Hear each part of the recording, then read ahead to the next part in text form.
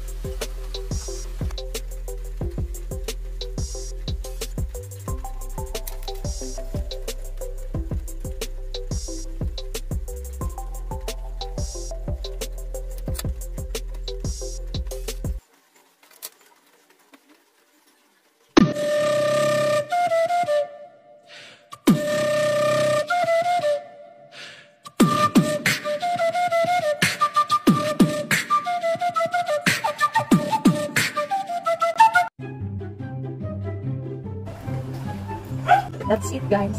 Bye!